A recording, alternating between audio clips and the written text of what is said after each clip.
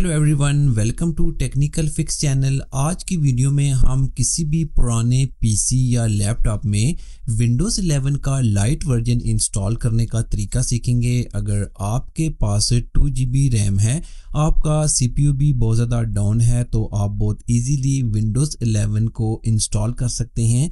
ये विंडोज़ 11 हम माइक्रोसॉफ्ट की ऑफिशियल वेबसाइट से डाउनलोड करेंगे। तो ज़ाहिर है कि अगर वहाँ से डाउनलोड कर रहे हैं तो ये इसका जो ऑफिशियल वर्जन है तो इस तरह से आप किसी भी अनसपोर्टेड हार्डवेयर में विंडोज़ 11 को ऑफिशियली अब इंस्टॉल कर सकते हैं। अगर आपके किसी भी पुराने लैपटॉप या पीसी में T P M two point zero या सिक्योर बूट इनेबल नहीं है तो अब आप माइक्रोसॉफ्ट की ऑफिशियल वेबसाइट से विंडोज़ 11 का लाइट वर्जन डाउनलोड करके इससे बहुत इजीली अपने कंप्यूटर में, अपने पीसी में या लैपटॉप में इंस्टॉल कर सकते हैं। तो चलें देखते हैं कि हम पहले किस तरह से विंडोज़ 11 के लाइट वर्जन जो है, इसकी आईएसओ फ़ाइल डाउनलोड कर सकते हैं। आपने कोई भी एक वेब ब्राउज़र ओपन करना है।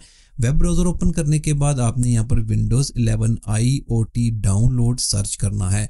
और यहाँ से आपने माइक्रोसॉफ्ट की ऑफिशियल वेबसाइट को ओपन करना है। ओपन करने के बाद आपने इस बटन पर क्लिक करना है और यहाँ पर क्लिक करने के बाद आपने यहाँ पर जो डाउनलोड का ऑप्शन आपके सामने आ जाएगा। 4.71 जीबी की फ़ाइल है जो आपने डाउनलोड करनी है।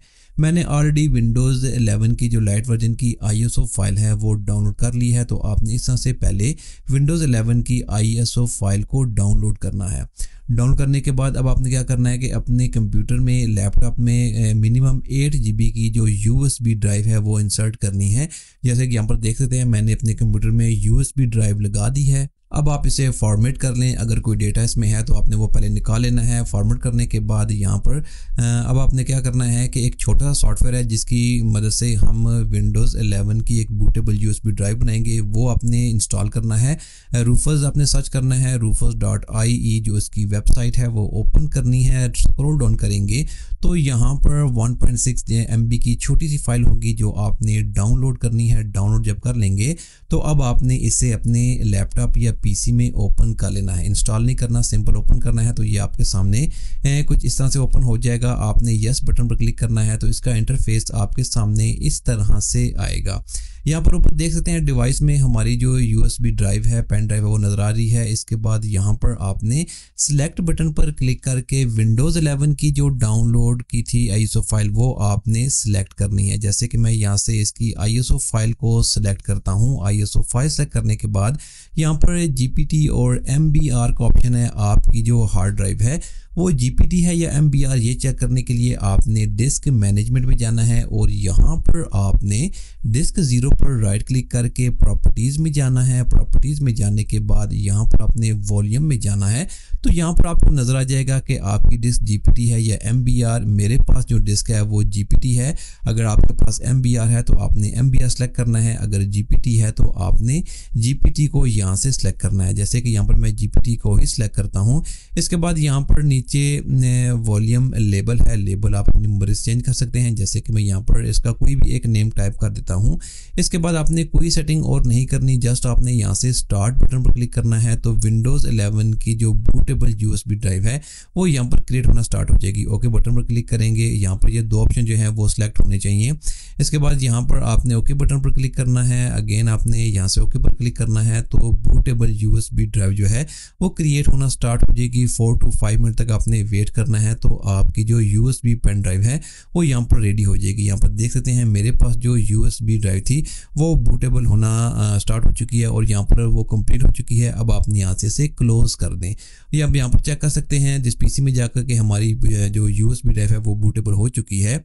अब आपने क्या करना है कि अपना लैपटॉप या पीसी जो भी यूज़ कर रहे हैं, उसको आपने यहाँ पर जाकर एक मिनट बार रीस्टार्ट करना है और रीस्टार्ट करने के बाद जो भी ऑप्शन आएँगे एफ़ टेन या एफ़ टेन वो आपने प्रेस करना है। तो इस तरह से आपके सामने ये विंडो ओपन होगी इंस्टॉलेशन की तो यहाँ पर आपके सामने इसकी जो बेसिक सेटिंग है वो आ जाएगी। जैसे कि आपने यहाँ से लैंग्वेज सेलेक्ट करनी है कीबोर्ड आपने यहाँ से सिलेक्ट करना है लैंग्वेज वगैरह।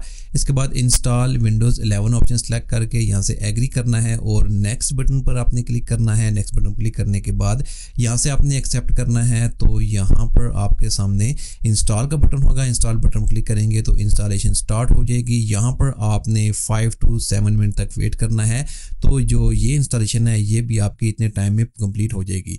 इसके बाद यहाँ पर आपका जो लैपटॉप होगा, वो रीस्टार्ट होगा। रीस्टार्ट होने के बाद यहाँ पर ये प्रोसेस होगा। इसमें भी आपने four to five minute wait करना है।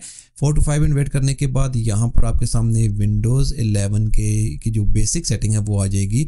आपने ये बेसिक सेटिंग आपने कर लेनी है, जैसे कि अकाउंट ऐड कर लेना है मैनुअल आपने यहाँ पर यूज़र नेम और इसका जो लॉगिन पासवर्ड है, वो आपने यहाँ पर क्रिएट कर लेना है। इसके बाद नेक्स्ट बटन पर क्लिक करेंगे तो विंडोज़ की जो अपडेट्स हैं, वो यहाँ पर डाउनलोड होना स्टार्ट हो जाएँगी। विंडोज़ यहाँ पर अपडेट्स डाउनलोड होने में आपके 10 टू 15 मिनट तक का टाइम लग सकता है। वैसे डिपेंड करता है कि आपके पास इंटरनेट की स्पीड कितनी है।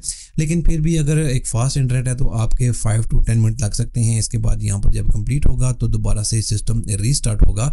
तो यहाँ देख सकते हैं विंडोज़ 11 इस तरह से आपके सामने इंस्टॉल होकर आ जाएगी। अब हम यहाँ पर विंडोज़ 11 के अबाउट में जाकर चेक कर लेते हैं। तो यहाँ पर आप देख सकते हैं कि विंडोज़ 11 आई ओ इंटरप्राइज जो है, जो लेटेस्ट वर्जन है एल सॉरी यहाँ पर जो इसका लाइट वर्जन है, वो हमारे कंप्यूटर में इंस्टॉल हो चुका है। तो इस तरह से अगर आपका लैपटॉप या पीसी विंडोज़ 11 को सपोर्ट नहीं करता T P M two point zero या सिक्योर बूट इनेबल नहीं है तो बहुत इजीली आप विंडोज़ 11 के इस लाइट वर्जन को अपने पुराने से पुराने और अनसपोर्टेड हार्डवेयर में इंस्टॉल कर सकते हैं। Thanks for watching this video